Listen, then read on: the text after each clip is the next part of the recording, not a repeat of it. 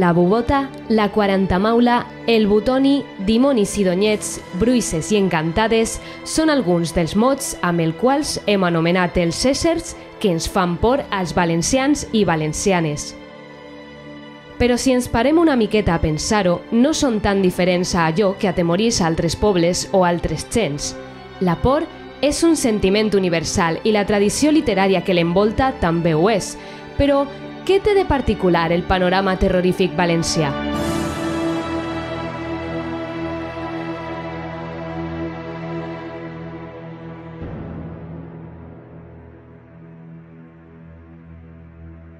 Per esbrinar-ho, parlem amb l'escriptora Carme Cardona, autora d'obres de caire fantàstic tant en el terreny de la ficció com de l'assaig, i parlem també amb Sandra Calatayud, actriu, violinista i coautora del llibre Bestiari dels monstres valencians.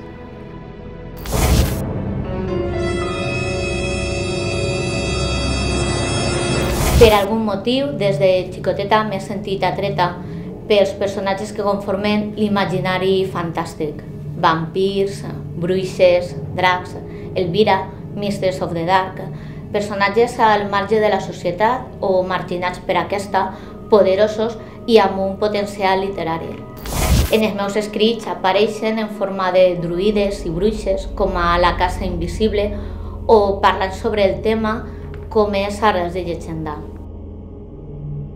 La veritat és que més que triar el gènere, el gènere em va triar a mi perquè em varen fer l'encàrrec d'escriure un llibre sobre monstres i llegendes valencianes per a públic infantil. La idea era crear un, un bestiari per a, per a apropar als xiquets i a les xiquetes a les narratives tradicionals i les criatures de la nostra terra i a més conèixer mm, diferents racons de la, de la comunitat valenciana. Amb el, amb el terror, la por i, i, i la fantasia com a eix central del llibre, Vàrem escriure a l'epíleg eh, la cultura no sols eh, són els llibres que escriuen senyors que estudiem al col·legi, sinó eh, la cultura també és els contes de, de la iaia o les cançons de la tia, que són contes i cançons que, que probablement no apareixen en, en cap lloc, però, però que s'han mantingut vius gràcies a la tradició oral. I aquesta cultura no, no pertany a ningú amb nom o cognom, sinó que pertany al, al poble, pertany a totes i a tots. Moltes vegades a, les, a la gent que, que no se li ha permès crear cultura. És una manera interessant d'apropar-nos a, a la cultura popular valenciana.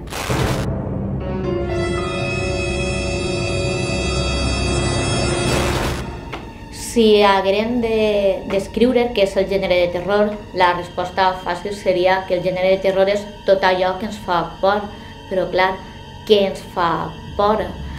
Havíem qualificat eh, d'allò desconegut és el que a les persones es pot provocar més inquietud. I és ahí on a poc a poc podem anar teixint una història que es provoqui inquietud. També és cert que no és el mateix la por psicològica del segle XIX que la por actual, on podem trobar mostres més reals, assassins en sèrie i fets inquietants.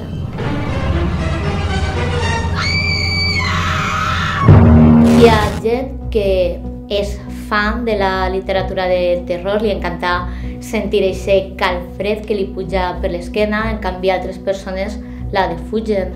El cas és que en l'actualitat tant la literatura de terror com la literatura fantàstica està experimentant una gran pujada i potser siga per aquestes ganes que tenim d'evadir-nos un poc de, de la nostra realitat que té aquest punt catastròfic de fi del món amb la pandèmia podem trobar més amables els mostres que trobem al paper que els mostres que trobem en la realitat.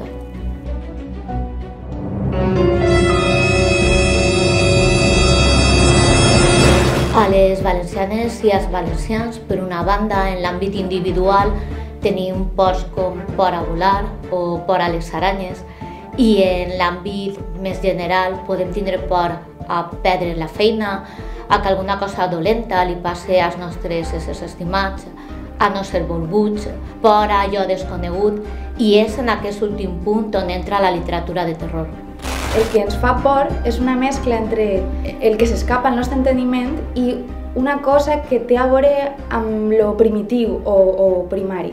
Ens terroritza eh, allò sobrenatural, allò que no és humà, inexplicable, incontrolable, i també allò que és diferent, la por al diferent.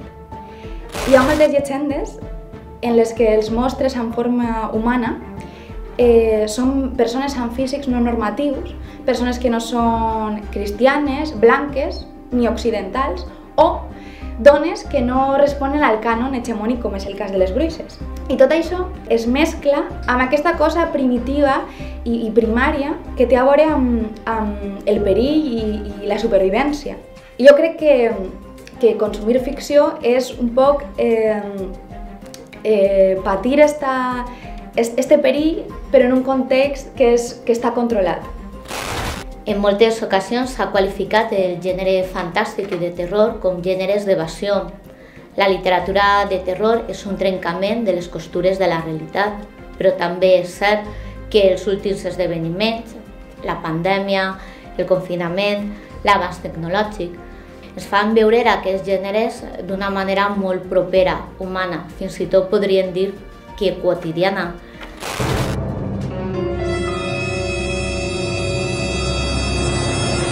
Víctor Labrado, el 2007, amb la publicació de Tots els noms de la por, va fer un recull de mostres i personatges en un intent de donar una nova embrancida a aquesta part del nostre folklore que, tot i la figura d'Enric Valor, havia quedat un poc en l'oblit.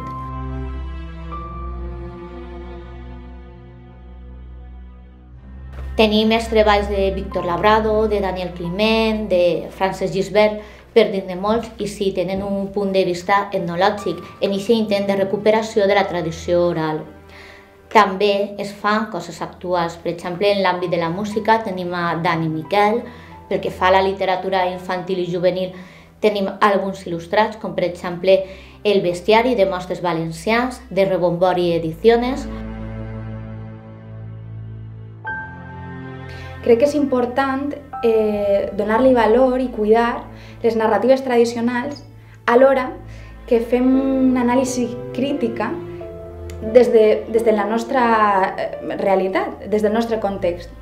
Pense, eh, per exemple, eh, per què el, persona, el, el personatge femení sempre és la més bonica del regne i n'hi ha tota una varietat i una diversitat grandíssima de personatges masculins.